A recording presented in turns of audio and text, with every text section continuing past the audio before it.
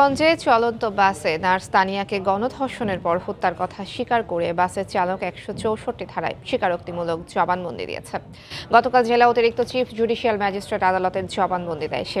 এদিকে জেলা আইন শৃঙ্খলা সভায় মামলাটি দ্রুত বিচার ট্রাইব্যুনালে হস্তান্তরের আবেদনের সিদ্ধান্ত নেওয়া হয়েছে বলে জানিয়েছেন জেলা প্রশাসক। এর আগে দুপুরে পুলিশ সুপার মাশরুকুর রহমান খালেদ জানান, জবানবন্দিতে চালক নুরুমিয়া ও তার সহকারী লালন সহ তিনজন তানিয়াকে গণধর্ষণের কথা স্বীকার করেছে। তারা তানিয়াকে হত্যার পর লাশ বাস থেকে ফেলে সড়ক দুর্ঘটনা বলে চালিয়ে দেবার চেষ্টা করে। এ সময় স্থানীয় এক অটোরিকশা চালক প্রতিবাদ করলে তানিয়ার লাশ আবারও বাসে তুলে নেয় তারা। স্বর্ণলতা পরিবহনের বাসটি গাজীপুরের কাপাসিয়া থেকে জব্দ করেছেন পুলিশ। মামলার সব আসামি এখনও গ্রেফতার না হওয়ায় ক্ষোভ জানিয়েছে তানিয়ার পরিবার। সুষ্ঠু তদন্ত করে জড়িতদের দৃষ্টান্তমূলক শাস্তির দাবি তাদের। এদিকে ঢাকা রেঞ্জের ডিআইজি চৌধুরী আবদুল্লাহ আল মামুন ঘটনাস্থল পরিদর্শনে গেছেন। গত ছয় মে রাতে কিশোরগঞ্জের গজারিয়ার বিলপাড় এলাকায় তানিয়াকে গণধর্ষণের পর গলায় ওড়না পেঁচিয়ে হত্যা করা হয়। হত্যা মামলার পাঁচ আসামি আট দিনের রিমান্ডে আছেন।